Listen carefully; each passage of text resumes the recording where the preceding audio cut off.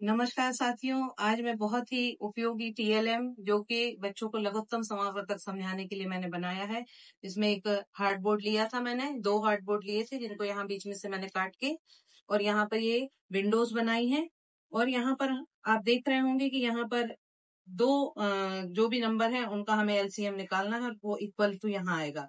इसके लिए हमें बहुत सारे टेबल्स चाहिए पड़ते हैं, जैसे यहाँ आप देख रहे हैं ट्वेल्व और फिफ्टीन का हमें निकालना है यहाँ पर। तो मैंने ये इस तरीके से स्ट्रिप्स पर ट्वेल्व का टेबल बना लिया है। इसी तरीके से फिफ्टीन का भी बनाया। मैंने वन से लेके ट्वेंटी तक के टेबल्स बना लिए हैं। तो आप देखेंगे, पहले मैं ट्वेल्व का टेबल यहाँ से इस विंडो में इंसर्ट करूँगी अंदर।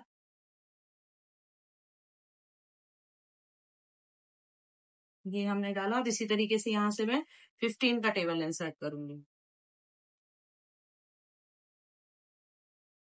आप देख रहे हैं एलसीएम का मतलब होता है लोएस्ट कॉमन मल्टीपल तो हम यहाँ देखेंगे कि सबसे छोटी संख्या जो दोनों में हो तो हम यहाँ देखते हैं ये सिक्सटी यहाँ पर आ गई और ये सिक्सटी यहाँ पर आ गई। तो ये जो सिक्सटी है, ये लोएस्ट कॉमन मल्टीपल है जो कि दोनों में है।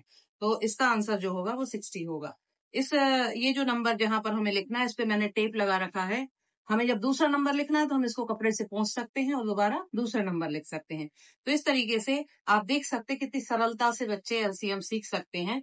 और जो सारे टेबल्स हैं मैं, मैं मुझे लगा ये गुम ना जाए तो मैंने यहाँ इनको रखने के लिए ये केस बनाया है जगह बनाई है। अच्छा तो ये ट्वेंटी तक के टेबल मैंने यहाँ पर ये थोड़ा सा पैकेट बना के और इसको यहाँ पर किया है। तो ये इस तरीके से आप देख सकते हैं।